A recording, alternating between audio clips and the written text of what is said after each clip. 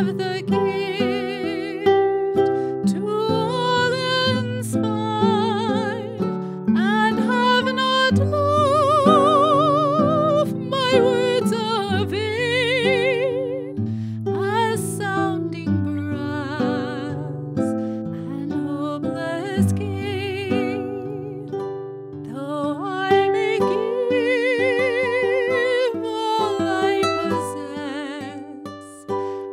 Striving so my love profess, but not be grieved by love within.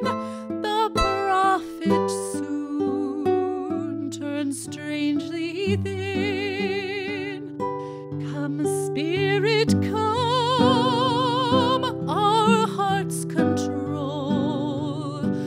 Our spirits long to be made whole.